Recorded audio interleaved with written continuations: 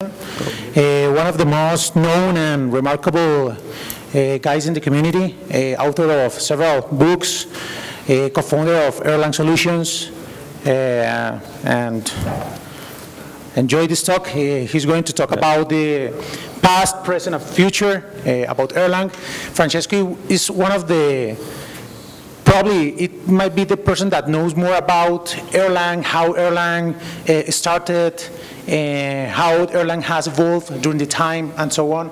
So enjoy this talk. Thank you. So, before starting off, I actually you know, wanted to, to thank uh, Gabriel, Brujo, Cesar, Carlos, and all of the organizers for having me. And I've had a great time you know, coming. Uh, it's the first time in Colombia, uh, and it's just been an amazing experience. So a big round of applause to them. It's,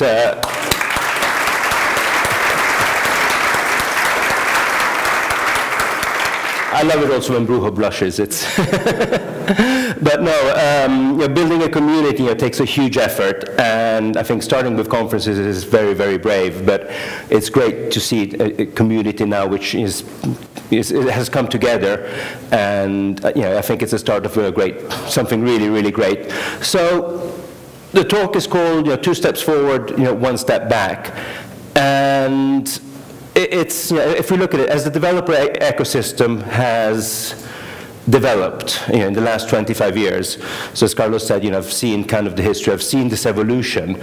Um, what we've seen, you know, what I've seen out there is that we've often gone out and reinvented the wheel, and often we've reinvented it not round but square. And It's, uh, you know, and so whilst the industry is progressing, uh, I mean, the hardware on which we're building things has progressed a lot in the last 25 years.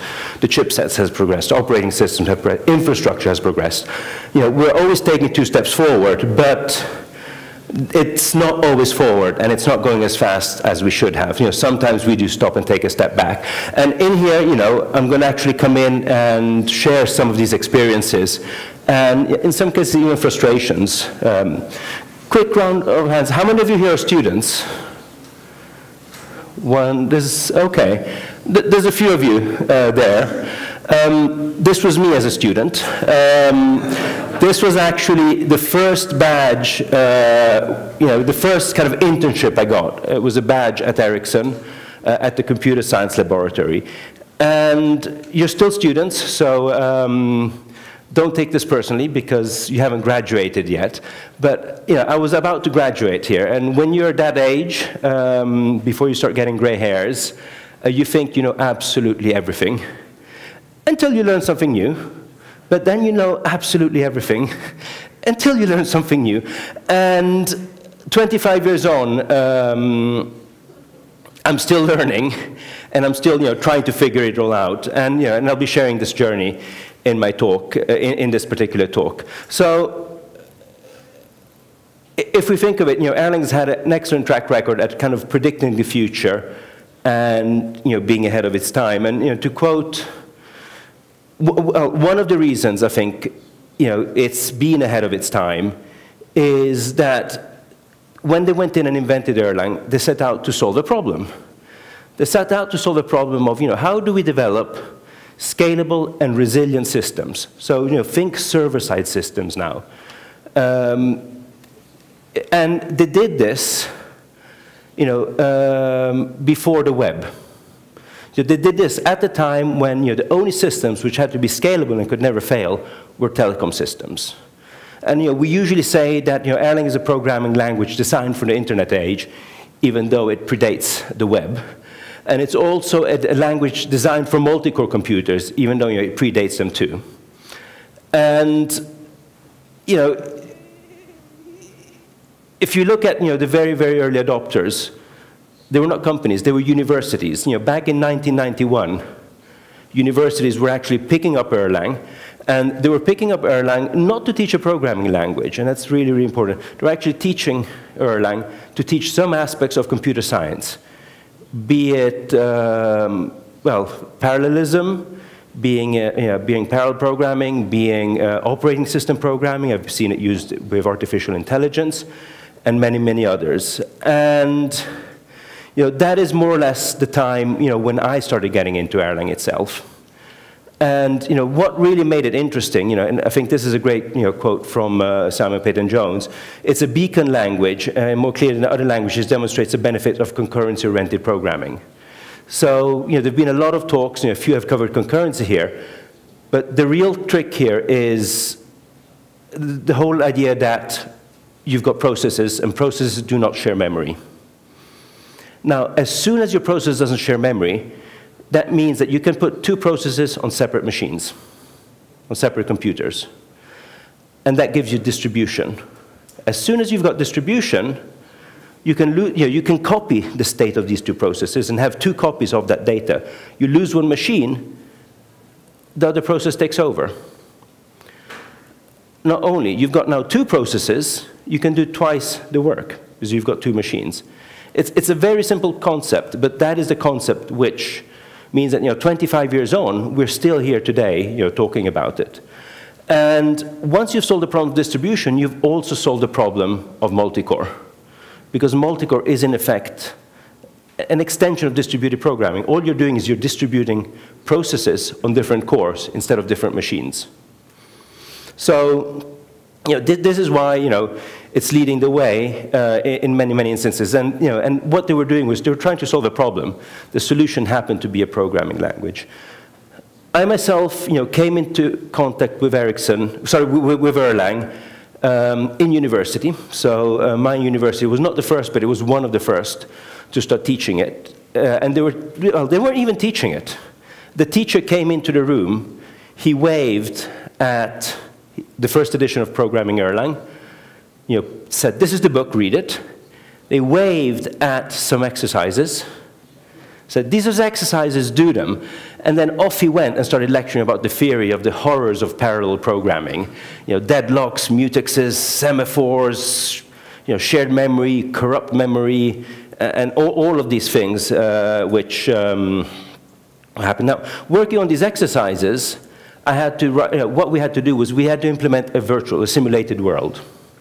So a world where you had carrot patches growing, and then you had rabbits going around eating the carrots. And if a rabbit found a carrot patch, it would broadcast all the other rabbits, hey, there's food here, there are carrots, come eat. And all the rabbits would come in and you know, finish off a carrot patch. And then you'd have wolves roaming around, and if a wolf would see a rabbit, it will tell other wolves, hey, there are rabbits here, let's go eat them.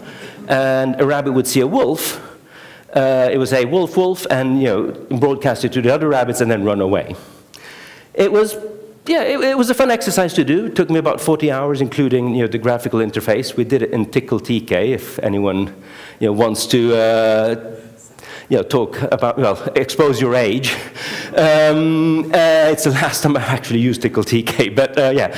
Um, and yeah, it was a really fun exercise. You know, I didn't think much about it. You know, every rabbit was a process, every wolf was a process, every carrot patch was a process. And you know, the goal was to create a balanced world. It took me about 40 hours. Now, a few months later, uh, during uh, our object-oriented programming course, we had, you know, the exact same exercise was given to us. We were studying Eiffel as an object-oriented programming language. And we you know, ended up solving it a slightly different way. The, the teachers decided to pair us up. So two of us ended up taking us 60 hours to solve the problem.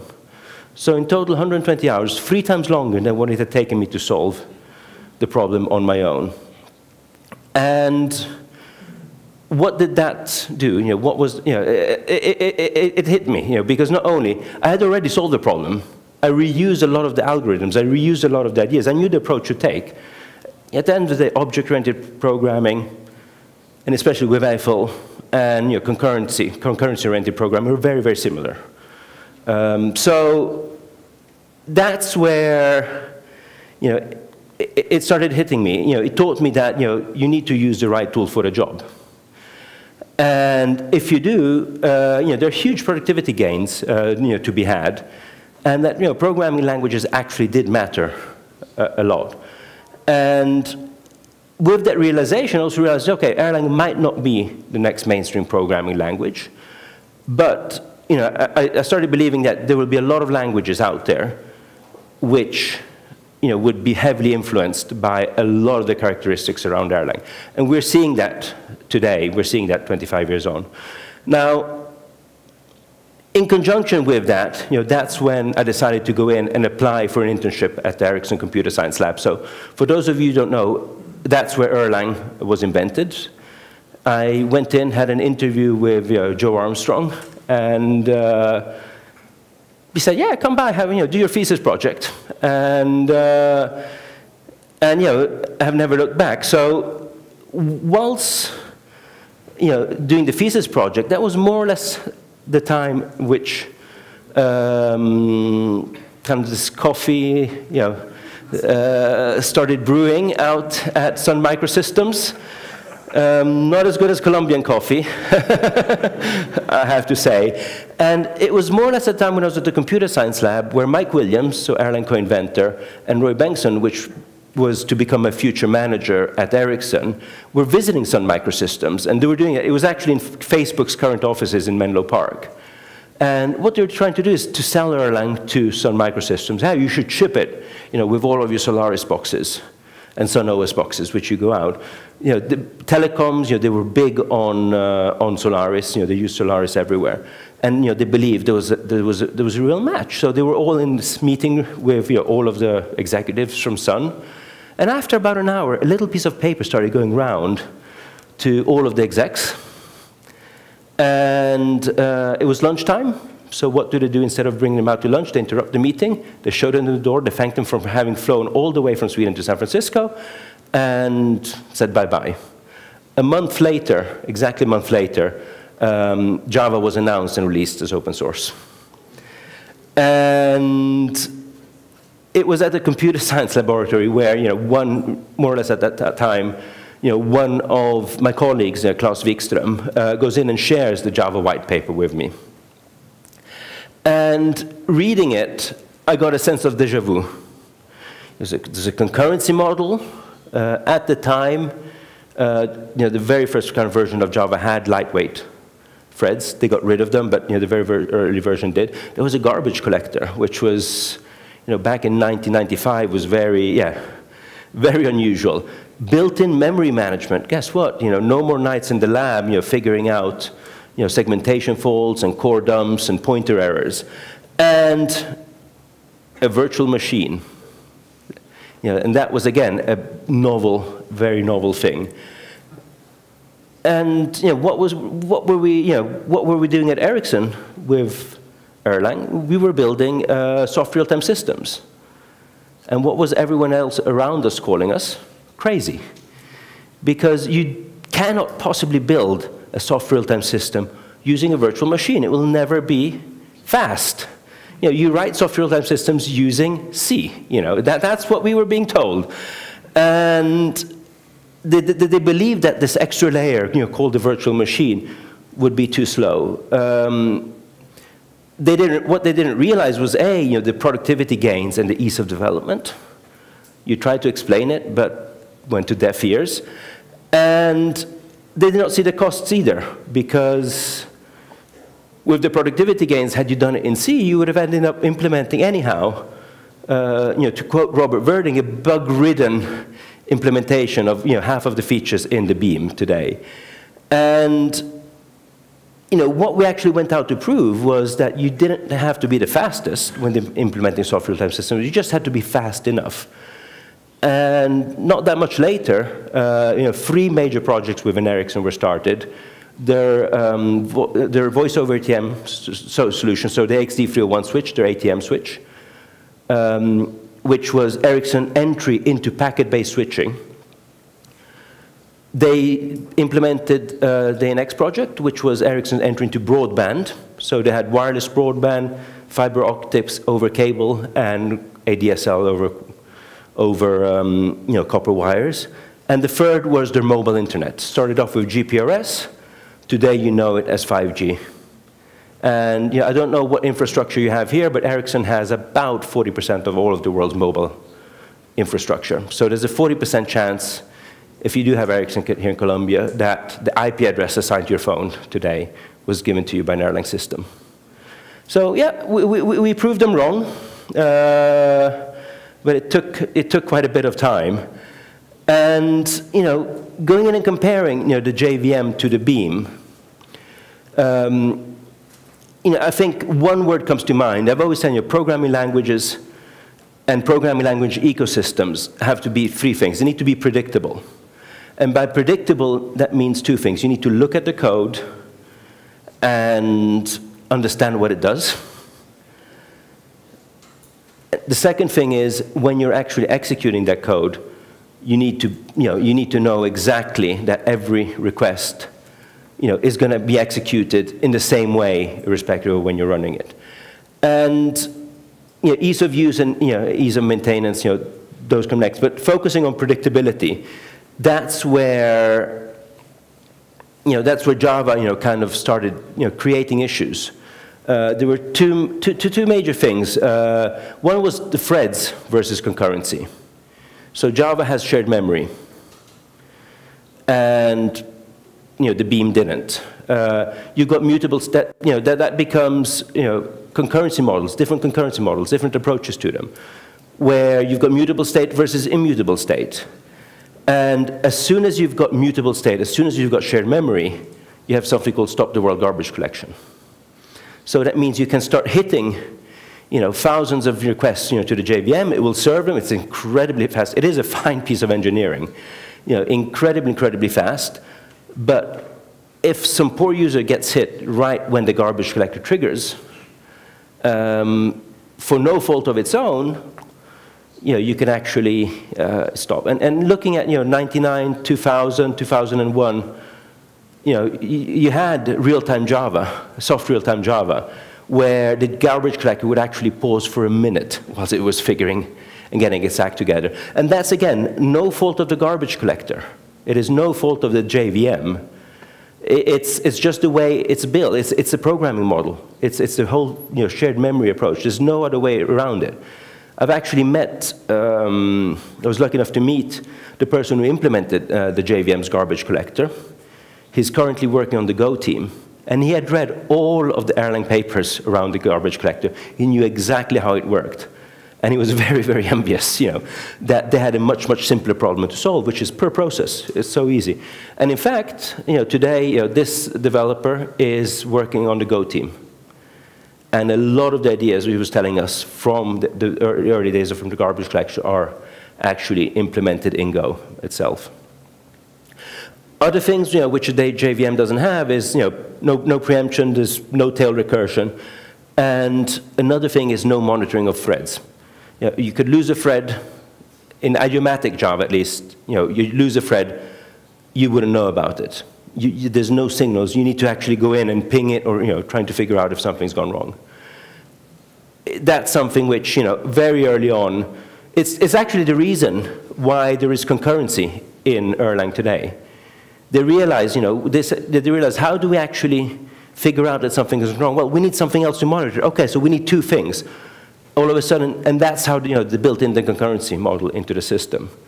And I think you know, these are ideas which you know, came about through conferences, through interaction, but also through their experience. The very, very first version of you know, the Ericsson radio kind of mobile base stations, you know, they had a Solaris machine with a human being staring at the screen, and as soon as the system crashed, they'd go in and restart it manually. That was the very, very first release of kind of you know, the mobile, mobile phone networks you know, back in the days. So again, two things. You have a computer and you've got a human being. Let's automate the human being. Uh, it's not fun just to stare at a screen until you know, logs start scrolling and you know something's wrong. Now, fast forward a little bit for, uh, further, and Node.js came, came along. And you know, I, you've got to love Node.js for what it's good at. Uh, in huge, uh, in, in Node package manager, a large number of packages, you can quickly throw together a, a prototype which looks really solid, really, really professional, and really, really professional. But you know, what winds me up with Node is that it was put together, implemented with complete disregard for computer science and technology which had been around for decades. And the example, you know, I think, you know, I'll steal an example from Joe Armstrong. Imagine you've got everyone in the room has a prime number, and you want to go in and ask Node.js, hey, is this a prime number or not? As long as you've got small prime numbers, you know, you all get a very fast response back. But there's always a smartass in the room who will go in and send a huge prime number. And as soon as you do, uh, this heavy task will block everyone else. And so you're all there waiting for this huge prime number to, you know, to, to, to actually compute. And, you know, and that's, again, you know, it's, it's the same uh, predictability. You lose predictability. It, your, your, your runtime is not predictable anymore. And it's no good that you know, it takes you know, a few milliseconds you know, to, uh, to, uh, you know, to, to set up calls if that little you know, small percentile ends up taking more than what is acceptable, which is, you know, could be a few seconds, if not more. And you know, if you think of it, you know, McCarthy invented time sharing back in the 50s. It's used in mainframe, you know, in mainframe computing, and you know, lots of users would get a slice of CPU time, and you know, your speed depended on how many users were actually using your mainframe, not how computationally intensive their operations were, or the scheduled tasks were. So if we move, hello? Okay, so backtracking a little bit to my time at Ericsson, whoops, sorry, backtracking a little bit to my time at Ericsson, uh, 1998 to be exact. Um, one of the very first open source products Ericsson ever released was called Eddieware. This was a time when Ericsson, at least, and I think many others, believed open source meant here's the source code, don't bug us. And it, it, it, but it was huge. You know, management didn't know what to do with open source. The, you know, Erlang had just been released as open source as well. And you know, it was all based on the whole Cathedral and the Bazaar paper. And you know, if you've not read it, go out and read it. It's, uh, it's a very interesting analogy over how you know, people's minds worked back then. And what, what they did is Eddieware, so Eddie was this, this open source application. What it did was it was clusterware. It allowed you, so the, the whole idea was that you had lots of computers. You had desktop computers at the time, so Solaris workstations, Linux desktops. You had um, you had um, Windows NT machines, and you know, everyone in Sweden usually goes home at five o'clock, and all the computers are left on, or all their desks, and that's more or less when America wakes up and starts browsing the web. So the whole idea there was, okay, let's start using this extra processing power, computing power, um, in, in spare capacity in our offices when you know, people aren't working. And so what Eddie Eddieware did was, Eddie did was it would start web servers on all of these desktops. It had its own distributed file system, or you could mount the file system, but it actually, using distributed file systems, we would then cache you know, files locally. And you know, it would run web servers. So instead of having a dedicated data center, you just use your spare capacity.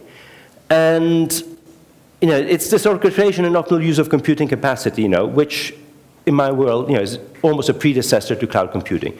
You'd spin off and tear down uh, services. And indeed, you know, uh, about 2007, that's when I first tried out uh, Amazon uh, EC2. And at the time, you know, Eddy was still very much fresh in our minds because you know, Erlang web servers were incredibly powerful. You know, I think the big mistake we did was we never understood how to package them so that they could be used as a standalone product, uh, as they had done, for example, with Apache. And so what we did is we went in and on one instance, at the time there was only one single instance. They might have just uh, released the large instances. So this was the very, very early days. We took one instance and we started off a Yaws web server, which was just serving, ser serving simple requests. Um, we then started off a second instance where we started the Tsung load tool. And we started you know, trying to get this load tool to send as many HTTP requests as possible to this web server to see how fast it would go. And it was, you know, we couldn't get Tsung to run any faster. We looked at the CPU capacity of Yaws, on, of the Yaws instance, and it was running at 20% CPU. Okay, let's generate a bit more load, it can handle it. We start off another instance, and start off the Tsung load tool, start pushing uh, requests to the web server. Looked at the CPU capacity on the web server, it was still at 20% CPU. Only thing that, you know, the first load tool, however, had gone, gone from 20% CPU utilization down to 10%. And what was happening here is, obviously, uh, network and I.O. were being throttled.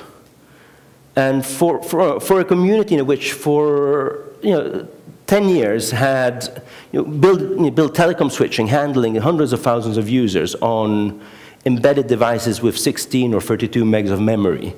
I don't think, you know, we were very, very impressed at the time. And it was the inability to control the stack which, uh, you know, put us back. And, and it, it, was interesting, I think it was two years later, uh, you know, two years later when we ran the first event in uh, San Francisco, the first Erlang event in San Francisco, where the European Erlang community met the American Erlang community. Erlang community were all about cloud and scale. The European community were still looking at maximizing how much they could get out of a single instance.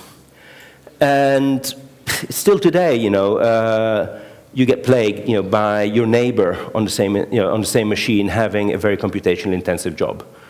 So, you know, it, it's, um, you know, the, the, whole arguments of lower costs and high throughput are now finally beginning to kick in 10 years later.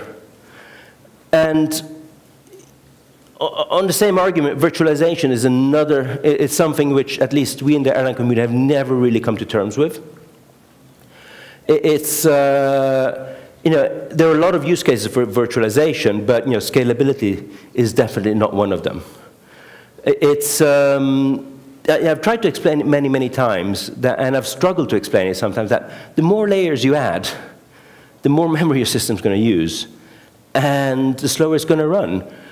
And you know, the whole idea with virtualization, you know, you've got the beam, the virtual machine, which is in itself an operating system on top of an operating system, which then runs on top of a hypervisor, which emulates an operating system, which then runs on top of an operating system, which then runs on top of the hardware.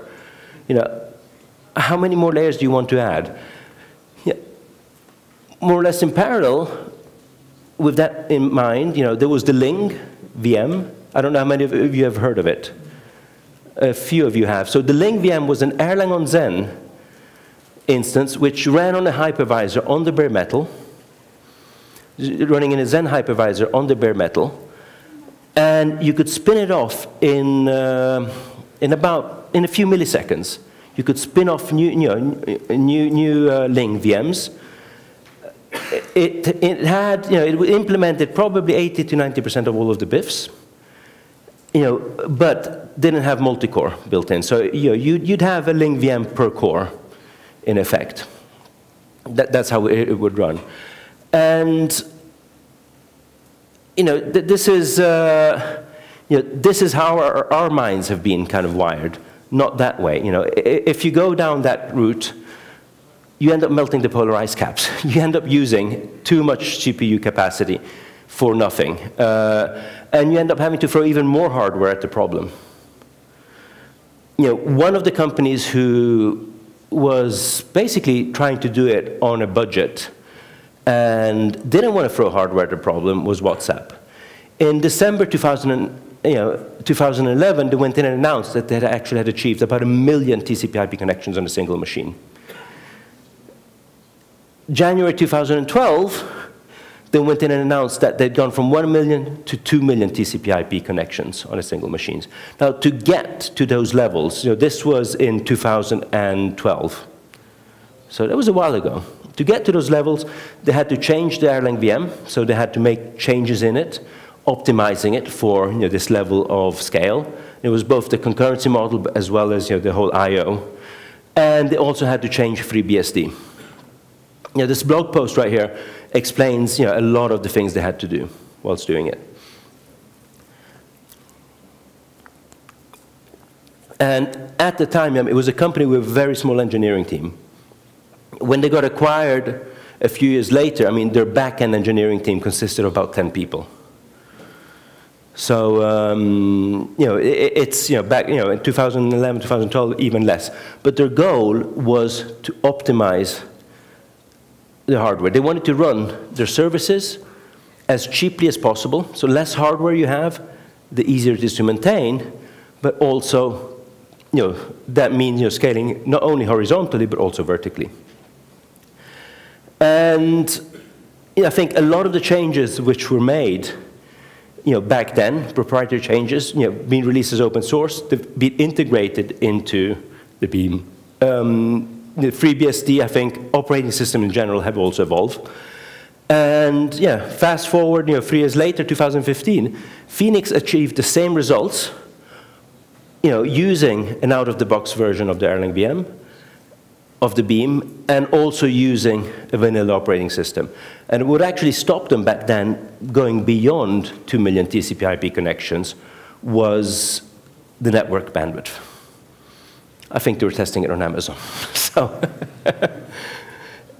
again, you know, with, with this, you know, um, you know, going back to Andrea's talk earlier today, you know, who needs Kubernetes? Who needs containerization? This level of scale, all you need is two instances. In case, you know, to quote again Joe Armstrong, one of your instances get hit by thunder or by lightning, um, and I was just came back from Santa Marta. You've got some really impressive thunder and lightning uh, here in Colombia. In case you know one of your servers gets, oh, you've got a second server to, to, take, to take everything over. But you know, two million TCP/IP connections will handle most of you know, the CPU capacity of, yeah, I think most of the needs of you know, most of your programs out there. Now, if, you know, if we, more or less at the same time, so actually 2015, so 2015, that was at the same time when we'd hit, you know, with a, an out, you know, vanilla out-of-the-box implementation of Erlang, 2 million connections, we were working with Stu Bailey. So he was the CTO and founder of a company called Infoblox in the Bay Area. And it was a research project which we called you know, flow forwarding. And what we did in this particular research project was, you know, we took the Ling VM. So by then, you know, it, it's, uh, you know, call it a um, paravirtualized Erlang. So very much like a modern containers, runs without hardware virtualization, and, you know, on the bare metal, and, you know, it takes a few milliseconds, you know, to spin off. We had also, as part of this project, implemented what we call an open flow switch, the LINC switch. It was completely implemented in Erlang, so it was actually doing a lot of the packet switching in Erlang. It had an API as well, and the routing was all, all, all in Erlang. And the reason we picked Erlang was not, again, for speed of execution. Uh, the, the eventual idea was to go in and implement it in C, but for speed of development. Uh, we were, I don't know if you were involved at some point in this project. Yeah, Carlos was, yeah. Um, what, what, what, was happening was, you know, the, the, there was a standard which was constantly changing, and we, they'd announced a new standard, and probably a week later we'd announce a fully compliant switch with that particular standard. The C version, it took them an extra year. A year later, they went in and announced they're fully compliant so, and so by doing it in Erlang, we were actually able to quickly you know, figure out issues with the standards. We found errors, we found design misses, and so on. But what we did, so we did, what we did is we took the LINC switch and we embedded it into the Ling VM. So we'd spin off, and we embedded into the Ling VM, and we tapped into the Xen hypervisor's networking API. So it exposes a networking API, which we tapped into. So we were using that, you know, where, where available, and doing everything else in, in the Ling VM. So what we're doing, we're spinning off a paravirtualized container, you know, running Erlang with a built-in switch. We then started working on a system called Leviathan, which handle orchestration. So what it did, it went in and you know, created networks of containers or VMs. It could, you know, it was it was a predecessor to Kubernetes. And the whole idea with it is we'd go in and spin off you know, thousands of these instances of the Ling VM, you know, thousands in seconds when necessary, without having the programmer knowing where they were being spun up. So, you know, completely transparent to the programmer. And we then had a controller, so through Leviathan, which would go in and monitor the networking traffic. It would monitor layer two and layer three traffic from all of these nodes, and then set up and tear down connections based on these machines. And what you do is you could optimize your traffic for bandwidth or for latency. So did you need to move a lot of data, or did you need to move it fast? And so, so you, know, you had two containers in two completely separate parts of the world communicating a lot with each other. You'd go in and you'd set up your own connection between them.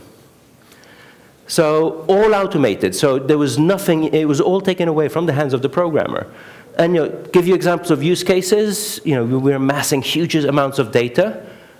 You want to do some you know, map reduce computations on your data. What you do, you can either move the data and then analyze it, or you can actually move the compute to the data. So you know, that was one of the ideas around it. And uh, again, you know, it, it's thinking massive concurrency, but massive concurrency on a VM scale. And yeah, use cases include big data, cloud, edge, fog computing, and many, many others. Um, again, uh, with the whole thought around automatization.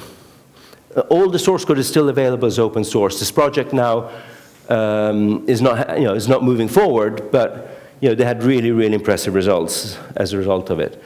And you know, fast forward a few years from there, another of the hypes we've had to live through, or are still living through, is that of containerization. And you know, the idea that you can actually orchestrate containers is very, very much tightly coupled to the Beam way of thinking. Uh, but you know, have containers actually taken us back a step? You know, think about it. Um, one of the examples here is, for example, think of error recovery. And you think of how error recovery handles it. And Fred Hebert, you know, there's an onion there, and Fred Hebert has a blog post which kind of describes Erlang's error recovery mechanisms and Elixir's as well as, a, um, as layers. In the, in the, very, very center, you've got you know, error recovery for sequential programming. So that means you try catch, and you try to catch in exceptions and deal with them. If that fails, you then go in and you actually encapsulate everything in a process, and the process terminates no shared state, so your data won't get corrupt. You've got supervisors monitoring the processes, you know, level up. Supervisor will go in and restart that process.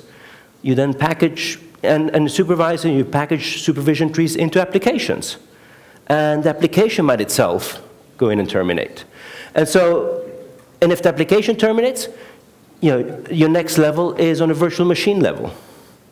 So, you know, this is all of the error recovery which right here, which Erlang has given you by default for the last 25 years. Now, think of the lower ones. You've got Kubernetes, which is a supervisor.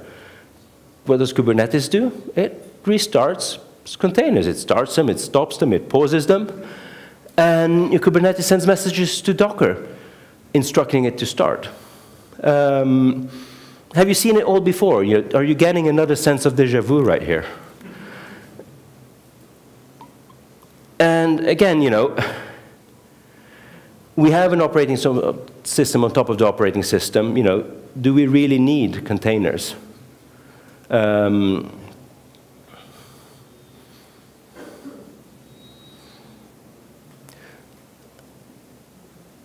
you know, this is still early days, what we're seeing happening here, but it's actually, you know, bringing us back to what we were doing with flow forwarding. It's a very kind of similar concept. And you know, the only difference is with flow forwarding, we had a team of three or four, maybe five developers, you know, doing all of that. If you look at you know, everyone working you know, around containerization, around Kubernetes, it's you know, the investments are much, much larger, but the ideas are very much there. And you know, if you think of it, the real positive thing with Kubernetes and containers is that they've contributed in the whole movement towards cloud native.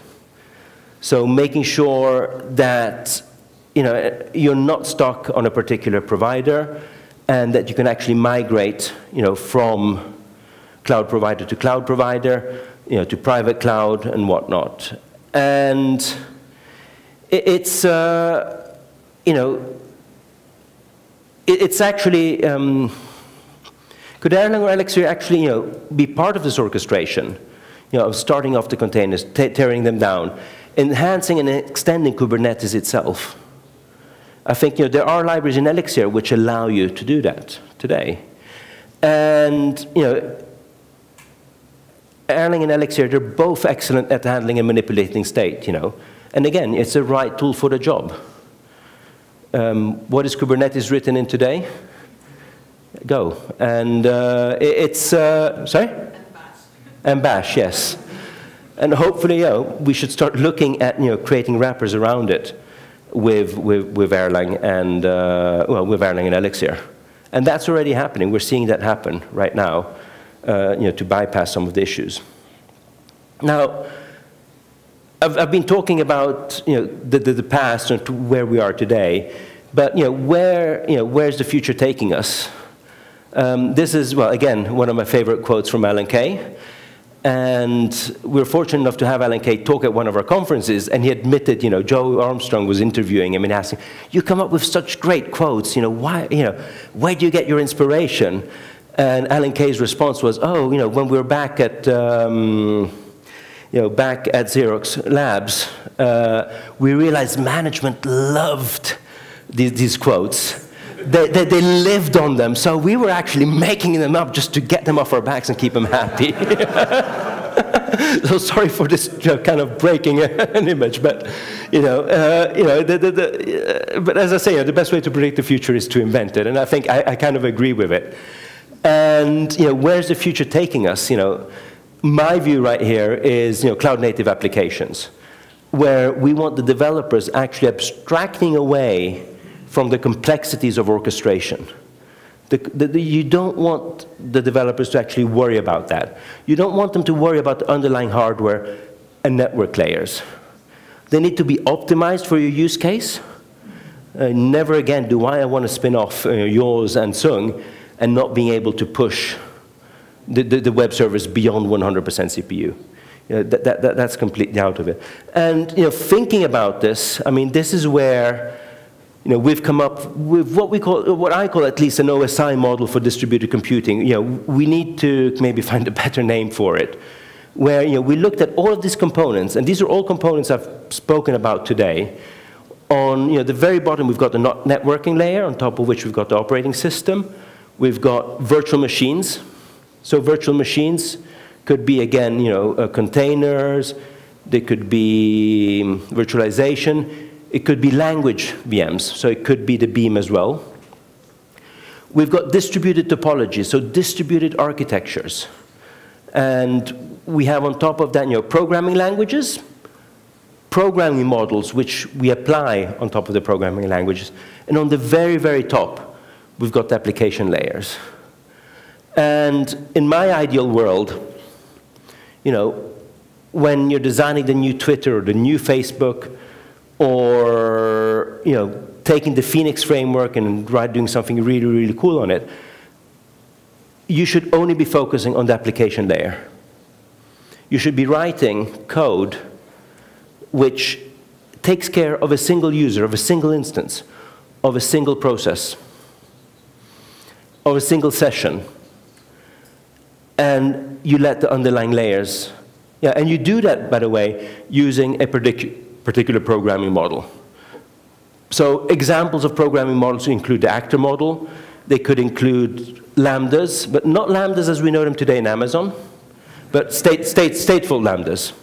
So you get short snippets of code, but when that code gets called, you also get a state passed to it because you've got lambdas, you still need to do all the I.O. to go to a database, you pull, up, you know, pull out data which you might need. So actually, you know, using a particular state, you know, which, which gets passed to it. Could be event-driven, uh, you know, domain-driven design. So, you know, functional reactive, you know, pub-sub, you know, pub-sub, I think, is a very underestimated uh, but you know, very widely used uh, programming model.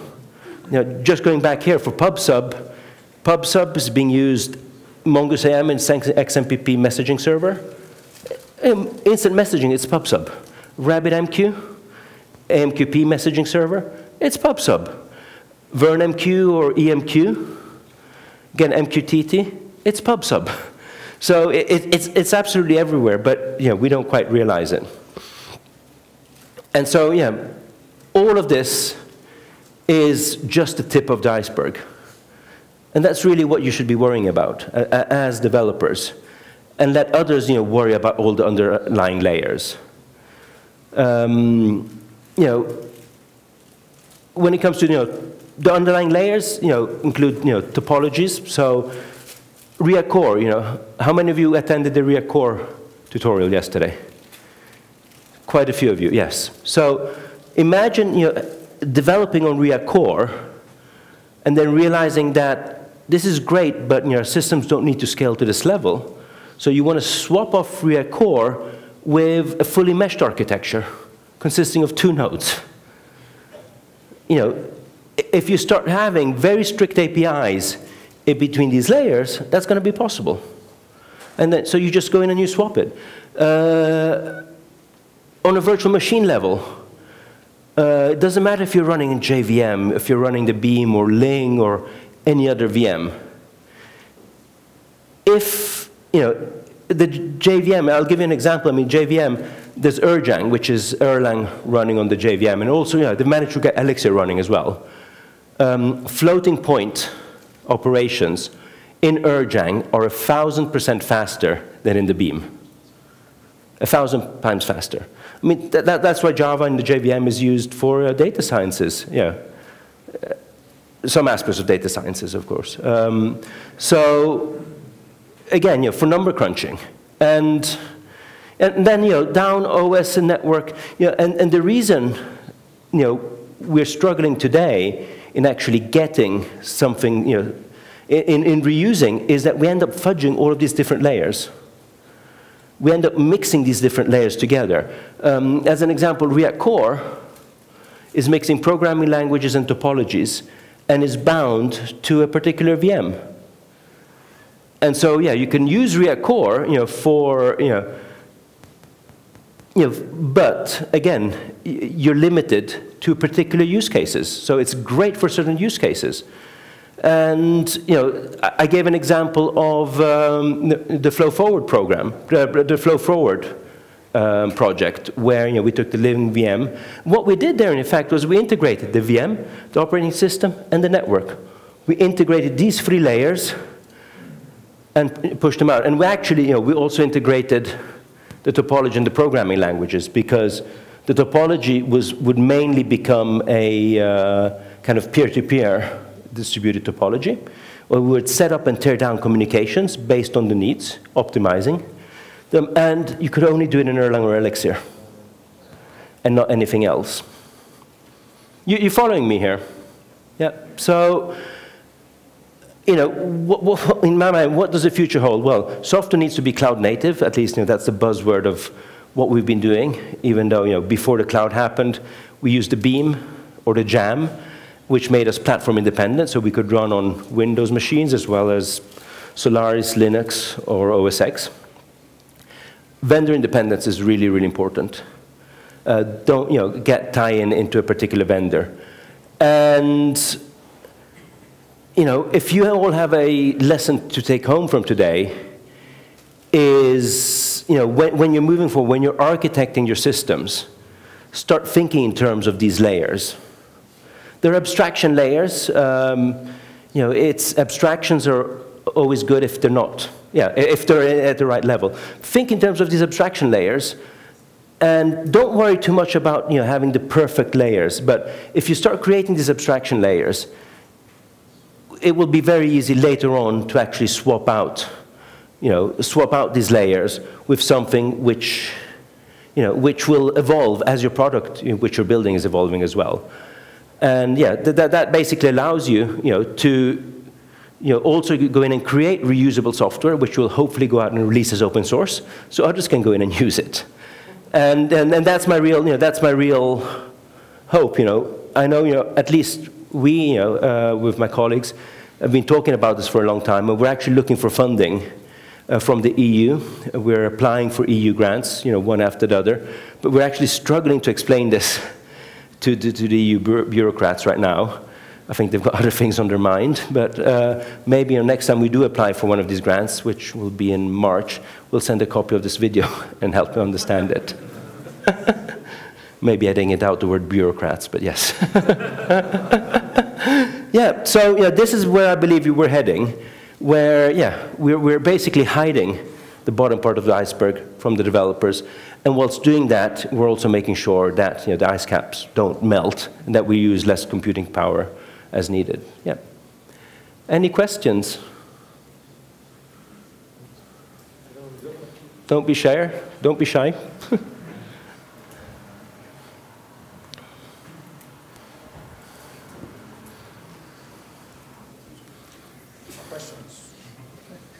No. I'll, yes.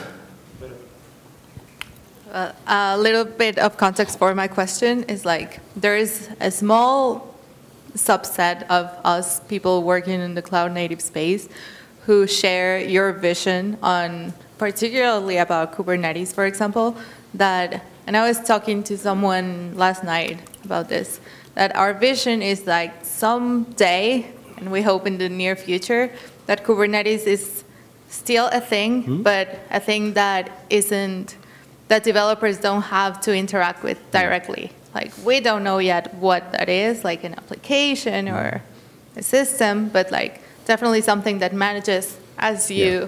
said it, but without having to worry about all the things that, that we have to deal with right now. Yeah. So with that in mind, as I said, we don't know how will that look like? Do you have a specific idea on how it would look like? We've got many ideas, and um, yeah, it, it's we're, we're, putting in place. We've put in place probably four research grants uh, trying to solve this problem, and it's a mixture. If you go, if we go back a few, if we go back on the at the various layers you know, what, what we do is, say on the programming model layer, um, as a suggestion, you know, we're looking at, you know, one university, the University of Innsbruck, was suggesting we actually use static analysis to analyze the code and figure out, you know, and, and on, a, on a callback level. So for each client function, you've got callbacks. Analyzing the code and understanding what type of CPU capacity do we need, what type of processor do you need. You know, if you think of you know, multi-core, it's, uh, you know, the multi-cores aren't homogeneous anymore, they're all heterogeneous. You've got cores for absolutely everything. Um, and so figuring out, you know, what, you know, should we run this on a GPU? You know, should we run this on a SoC, a software on, on a chip? Should we run this uh, on a regular, you know, on, you know, on just regular cores? And then redirecting the requests that way. So that, that's, one, you know, that's one of the things they've looked at. Others include uh, kind of live benchmarking, so applying software-defined networking principles, looking at, you know, measuring, benchmarking. You know, how long does it take if we executed in, and that's where you know, Chris Meiklejohn used to do a lot of work. You know, what happens if we execute it on, um, yep, uh, what happens if, you know, but what happens if we use it, so you know, the, his team, you know, we, you know, we're actually now putting a proposal with them. What happens if you've got, you know, what's, what's cheaper, you know, your, your phone gathers a lot of data. Should we process the data on your phone? Should we process it in, in the actual base stations? So you might not have enough power. So we process it on the base station, the radio base stations, to avoid the transport costs. Or do we send it back to, you know, and that's edge computing. Do we send it back to the cloud, you know, for, you know, and actually, you know, process it there?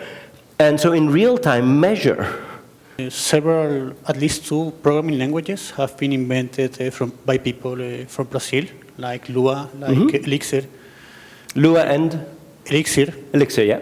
And uh, I see that there's uh, a lot of work, uh, a, lot, a, lot, of people that are really good uh, and that are pushing forward uh, the community, mm -hmm. the tools. Uh, Why do you think this is happening from Brazil and not from any other country in South America? Is it maybe? It's a very hard question uh, because I, what, so I've never been to Brazil. Um, I've met a lot of people from the Brazilian community. I know, you know that I, I know that um, you know Simon Thompson, for example, uh, which is very active in the Erlang community, formerly from Haskell, you know, has done a lot of research in Brazil. He's actually lived there. And you know, it's, uh, you need innovation you know, to, to, to, drive things forward, and you need to think out of the box. Um, you need to have people ready you know, to call you crazy, uh, you know, to, to actually move things forward. So you know, that, that, that's my, and, and hearing you know, what's actually happening with Elixir in Brazil um, is, you know, sounds very, very promising. But I really don't know, you know, um, very, you know, much. I, I can't, you know, go into the details because. No, no, I just realized I yeah. mixed up your nationality. I'm sorry. Uh, no, no, no, no. Yeah. but yeah, I can tell you what's happening in Italy. but yeah, yeah. but yeah. One more. Yeah, and. What is the status of, of on the beam to make uh, to make it faster? I knew that you were working with making a, a, a JIT mm-hmm. with LLVM. What is the status of, on that? On That's going to be released probably in the next 12 months. So it's Lukas Larsson, which is an Erlang Solutions employee who's been working on it. So they've actually set a date and they're going to release it as, not as a product, but yeah, as a, as a uh, proof of concept, as a prototype right now, and start getting feedback. But if we look at the JIT, the biggest challenge, um, again, going back to 1997, the very first version of the Beam was actually called Turbo Erlang. And what it did was, the Beam VM, what it did was it took Erlang code, sequential Erlang code, and compiled it to C. And you know, they got a tenfold, 10 times increase in performance on sequential code. Then all of a sudden, they went in and started running a, a, a concurrent application on it. And that advantage disappeared completely. It, it, disappeared completely because the programs you're all writing are not sequential. Yeah, they're all concurrent. And so, you know, I think, you know, there's going to be a lot of issues, you know, or not issues, but disappointments when you, know, you think that everything's going to run much, much faster. Yes, your sequential code will. But at the end of the day, it's, it's, you know, you're not writing sequential code, you're writing massively concurrent code. And so you know, the, the real way to make it fast is down on a VM level, uh, optimizing as much as possible. And we're seeing you know, these optimizations, release after release, uh, happening. You know, I mean, the OTP team is doing a fantastic job. And they're doing it without breaking backwards compatibility. Yes? But number crunching will run fast. Number crunching will run fast, but if you want a number crunch today, use Julia, use Rust, and use NIFS. But we, we will get less comments on yeah. News or hacker news. Mm. Micro benchmarks, yes. Yeah. Uh, and you actually see my computer here. Um, just to leave you with some food for thought, my actual computer here is called Ramon. I'm a big Ramones fan. I know I've seen here in, in Colombia probably seven or eight T-shirts with the Ramones on. And as you know, the Ramones were in the background, you're setting the beat uh, for a lot of other bands, which you know became much, much bigger than them. And I've always kind of called Ramon, uh, Erlang, you know, the Ramones of the programming languages. it's in the background, you know, providing the constructs and the ways forward, you know, which all the mainstream languages are now picking up. So, listen, thank you so much for your time. I've really enjoyed, you seeing you.